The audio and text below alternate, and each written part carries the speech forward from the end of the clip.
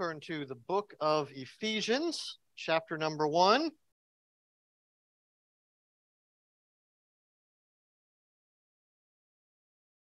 Ephesians is the first book of the Bible over 10 years ago that I ever preached through as a pastor. It has a special place in my heart. Um, uh, Ephesians is one of my favorite books, actually. And after going through Ecclesiastes for months and months, it was like a cool, fresh spring of, of gladness to go through it. But first, Ephesus. So you see on the map there, big old thing that says Ephesus. That's the Ephesians were citizens, Christian citizens of Ephesus. Ephesus is in Asia Minor, what is now known as Turkey, and housed the temple of Artemis, the goddess of the hunt, which was one of the seven wonders of the world. Artemis was also known as Diana to the Romans, and she was also the goddess of the wilderness, and more importantly to the Ephesians, of seductive fertility practices, of which they made a whole lot of money. Ephesus also housed the library of Celsus, which contained over 12,000 scrolls, and a theater capable of holding an audience of 24,000 people. This is a big metropolitan center. This is the largest in the ancient world. Historic poets, authors, and philosophers called Ephesus home, a list that we don't have time to go into this morning. We know that the culture of Ephesus cared a whole lot about their sexual immorality, elevating it to something to be worshiped and selling little pagan trinkets and baubles of Artemis in order to pay for it. They also cared about philosophy and education. They cared a whole, whole lot about entertainment, sort of similar to how we live today. The reason I like Ephesians is Ephesians is a handbook for the Christian life. It has everything that you need to know how you ought to function. And the thing about Ephesians is, yes, it has theology, but also it has practical application. But before we get into practical application of husbands and wives and employers and employees and how you deal with things in church in the second half of the book, the entire first half of the book is theological. The entire first half of the book actually isn't what you should do, it's what God has already done. It is what's called indicative. It indicates what you are rather than um, uh, imperative, which is what you must do. Now, one of the problems, one of the big errors that people make is they jump to the second half of the book first without looking at the first half of the book of what God has done. And all throughout the Bible, this is the pattern that always must take place. God acts first, and then we act. God does his works, and then we do good works. If you reverse the order, it is a dire consequences to say that, well, we work, therefore God will do his blessing. No, no. God blesses first. And that, out of that blessing, out of what he's given us, that is why we then follow him. Let's read our text this morning. Go to that second slide. Ephesians chapter number one, starting in verse one. Paul, an apostle of Christ Jesus, by the will of God, to the saints who are in Ephesus and are faithful in Christ Jesus. Grace to you and peace from God our Father and the Lord Jesus Christ.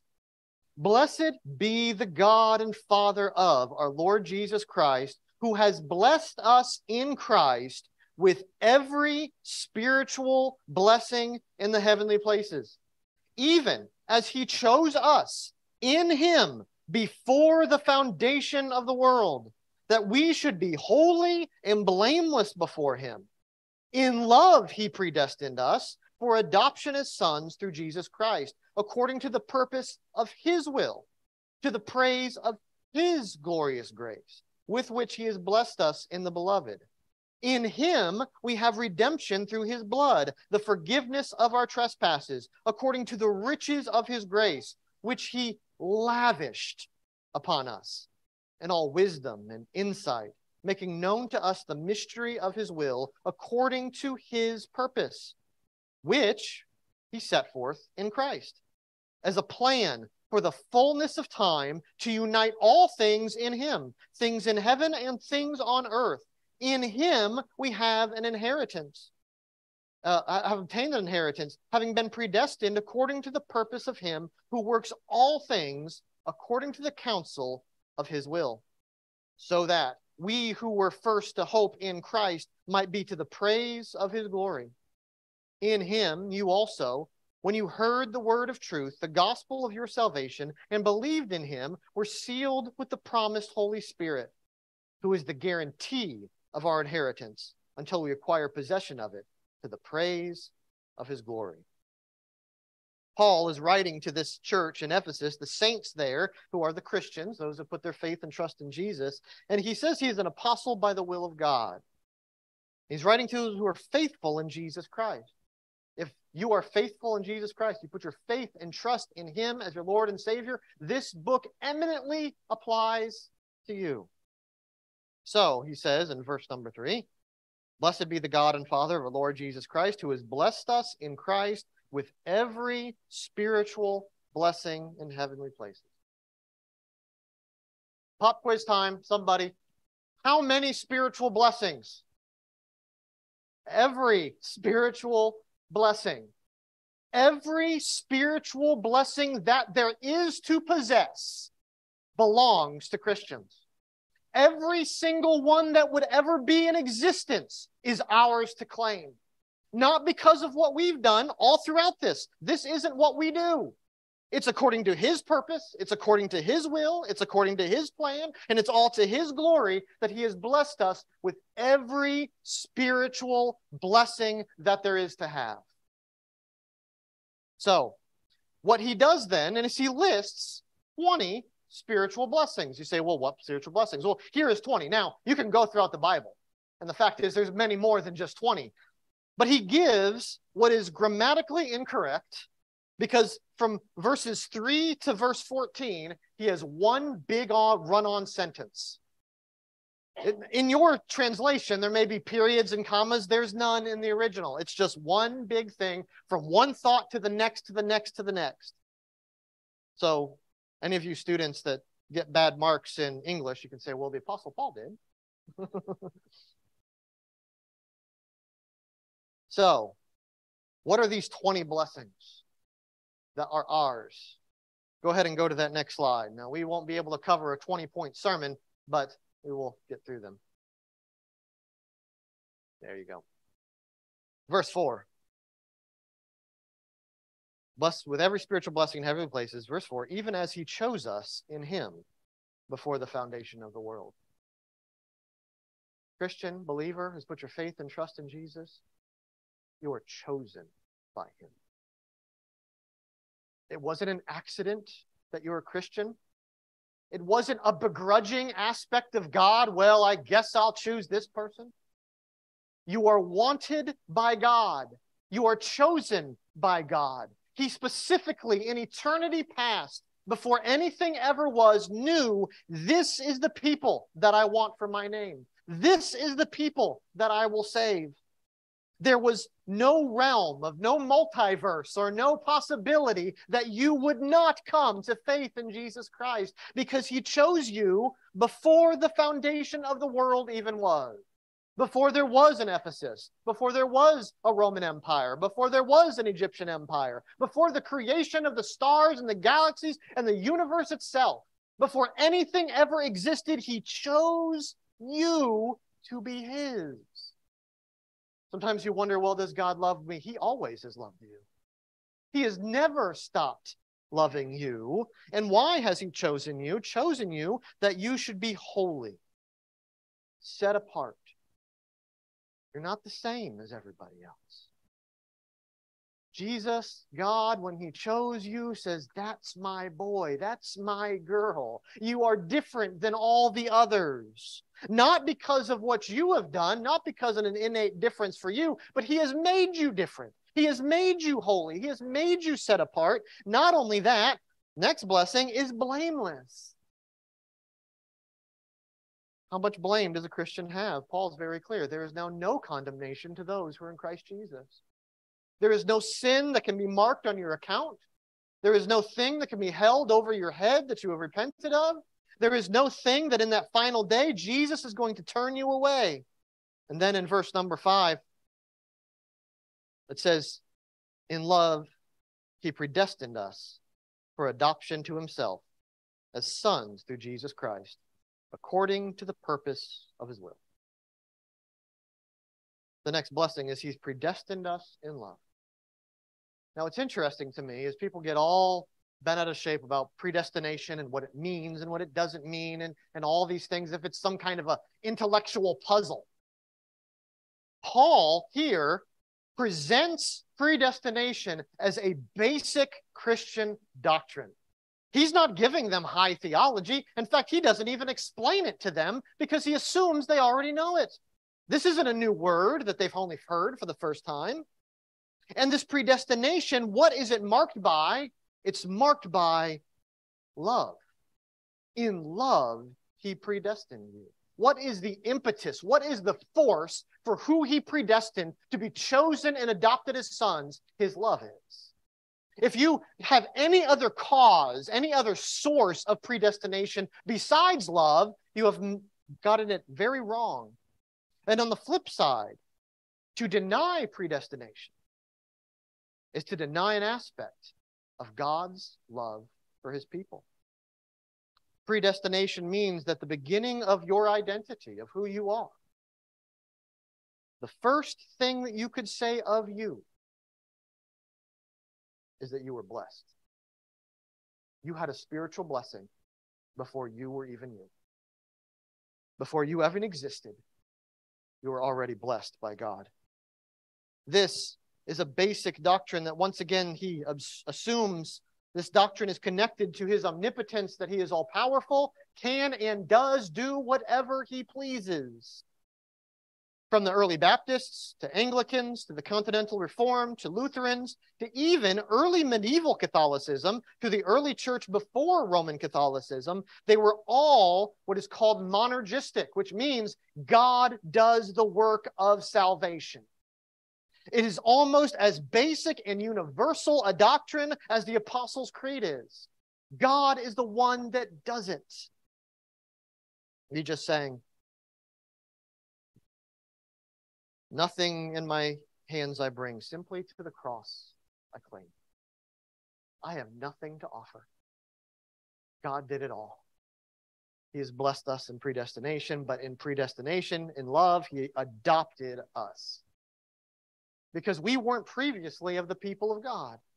We were from every other tribe, tongue, and language, hostile to God, separated from God, bitter from God. And Paul's going to talk about that in a few chapters where he talks about the reunification of God's people, but he has adopted us as his people. You know, it's interesting in the Roman legal system, a legal son, if you were born uh, of natural birth, could be disinherited in the Roman system an adopted son by law could never be disinherited. If you chose them to be part of your family, you could never cut them off. And he says that we when were predestined before we ever were to be adopted as his children.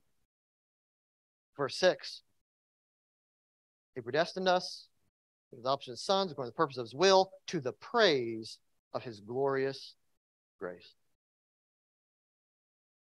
The reason he did this the reason he chose you in love to be adopted into his family is because you will be the object of praise to his glorious grace. On that final day, when we all gather around the throne of God and we get all the praise and honor and glory lifted up to him, the prizes that he is going to show to show the attributes of his grace and how glorious and magnificent his grace is is you, Reformation Church. His people. Look at these lost sinners. I didn't destroy them, I didn't obliterate them, I didn't forever condemn them. Instead, I saved them with grace that they did not deserve. Something that angels themselves long to look into, meaning they don't understand this kind of salvation. Fallen angels, once they sin, they're done, they're condemned forever. Human beings, we sin, and He sends His only begotten Son to live and suffer and die and rise again so He could adopt us and forgive us to be objects of His praise for all eternity. For angels, that doesn't make sense. For us, it's a normal, ordinary reality of life. We don't realize how blessed we really are. Believer, not only are you the praise of his glorious grace for the time to come in the future, you are the praise of his glorious grace today. right now what he has done and what he is doing in your life to show his grace to the world. It says, it continues, in which he has blessed us in the beloved. He is another translation of blessed us here is he favored us in the beloved. God's favor is upon his people. God isn't against you. God isn't trying to destroy you. And sometimes this world beats and batters you raw. And you think, is God trying to destroy me? But in, in Christ, in God, you are favored. He is on your side. He's always been on your side. And no matter what happens, all things must work together for good to them that love God, to them who are called according to his purpose. No matter how bad it may seem, never doubt God's favor upon you as a believer in Jesus Christ. Verse 8 riches of his grace, which he lavished upon us, and all wisdom and insight. You see, beloved, he didn't just give us grace, meaning giving us something we didn't deserve. He gave us lavish grace. He lavished it upon us. It is to be in excess, this word, to overflow. You know, like those those nasty commercials in the the, the theater where they have the the uh, cup of Coke and it overflows anywhere everywhere. And I think that's how sticky that is. But for some reason, it's supposed to be refreshing. Well, what, what this is, is God's grace for you overflows lavishly more than you could possibly ever need or have, more than you could ever run out of. It is a ridiculous amount of more quantity than is needed, is the grace that God gives you. To use a incorrect term, when it comes to God's grace, He spoils you rotten. He gives you more than you could ever ask for or think. Verse 9.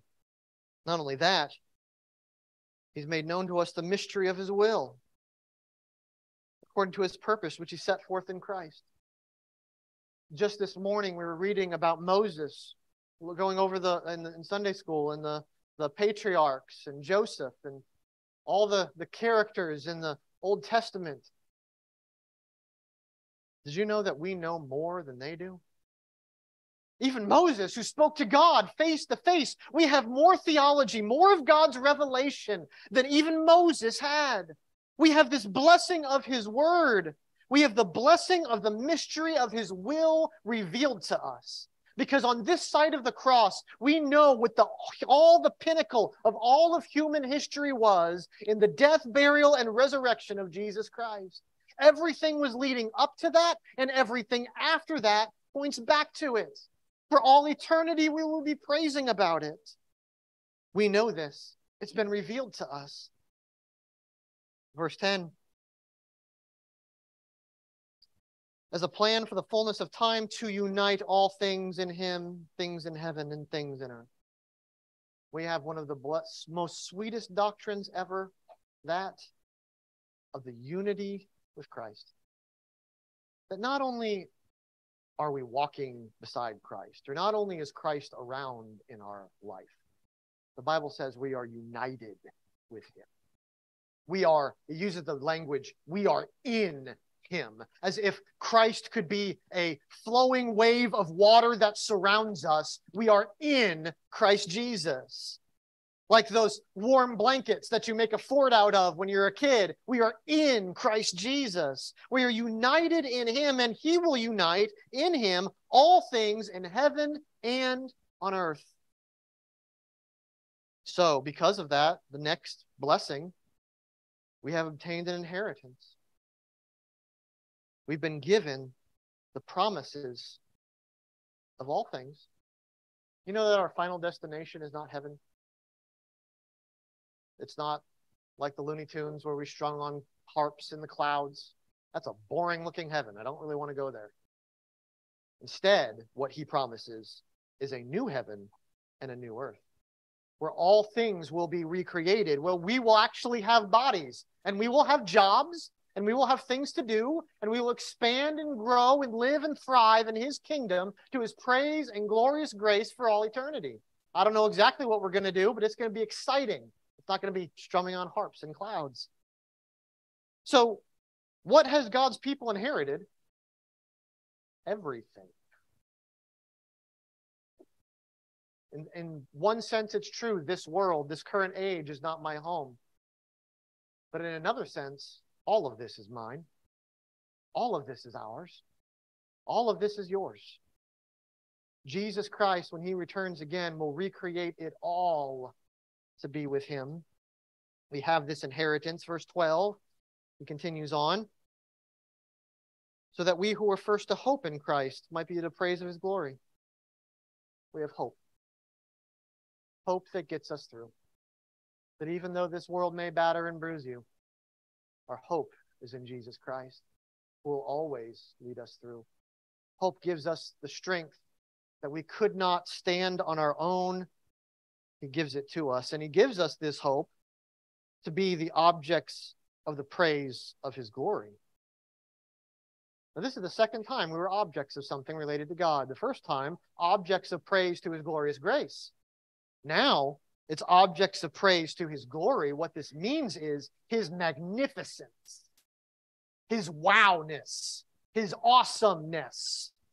That all of creation, angels included, when the saints of God who were redeemed, when we, the believers in Jesus Christ, stand before the throne of God, what they are going to say when they see us is, Wow, God, what did you do?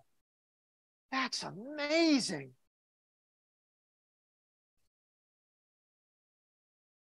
What am I? A worm made of dust. That in all of eternity I'll be an object of the praise of God's glory. Something to be looked at with amazement because of what God has done. Verse 13 in him also, when you heard the word of truth, the gospel of your salvation, and believed in him, you were given the word of truth. This world is a world of darkness. This world is a world of misdirection and lying, where we don't even know what to believe and what not to believe. He has given us and revealed to us his holy word that we never have to wonder what true truth really is, what real truth really is the truth that matters really is. Not only that, he has given us not just truth in general, but the gospel of our salvation. The gospel of the death, burial, and resurrection of Jesus Christ, that all who put their faith and trust in him will have, be recipients of every single one of these spiritual blessings. Not only that, another blessing that he gave you that you may not realize he even gave is the blessing of belief. Your faith that you have, it's not your own either. It's something that He gave you, that He enabled you, that He awaked within you to call upon Him. You say, Well, I called on God to save me. Yes, you did. And He's the one that caused you to do it, He's the one that allowed you to. Just as the first act of a newborn babe is to cry out to their mother, so too the first act of a regenerate soul is to cry out to God, Save me. He gave you the very belief that you have. And because of that, it says, the next blessing, you were sealed with the Holy Spirit.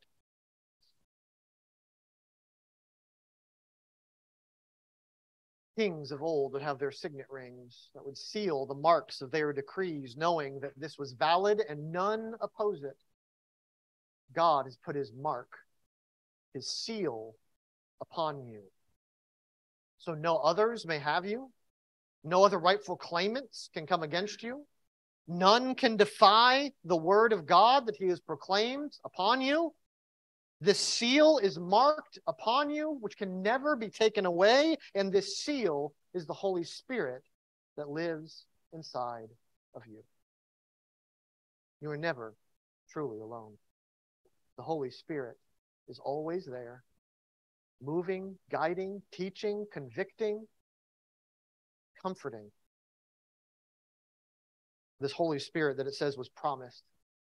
an aspect of communion with the Holy Spirit that saints of old did not quite understand, even though there was the Holy Spirit working in the Old Testament in a much more consistent way. We have this spiritual blessing now being sealed, having God's mark upon us. And this seal, verse 14, is a guarantee of our inheritance. This guarantee isn't just a sure thing that we have. That's an aspect of guarantee, but the language here is actually much stronger. This word here for guarantee is it's the first installment. It's the down payment. Where I'm going to go and I'm going to put forth a guarantee of money, and then later on I'm going to come and give you the rest of the money. The aspect of having the Holy Spirit inside of us means that right now, in this present age, we get to live as if we're living in the new heaven and the new earth. He has given you a foretaste. He's given you an aspect. He's given you a down payment, a first installment of heavenly life in this age right now. Now, one day it will be the full thing. Right now isn't the full thing. Right now there's still stress and there's still worry and anxiety and there's all, all the tribulations and trials. But even through all of those, we have the guarantee of the Holy Spirit. We have an aspect that we can live out a pure, holy, glorified life right now in this age. Now, of all these blessings that we've been given, Where is the source of these things?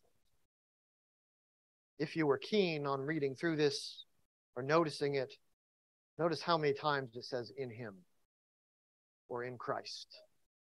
The source of these blessings are all His. In fact, 23 times it uses either in Him, in Christ, or God as the subject of what Paul is talking about.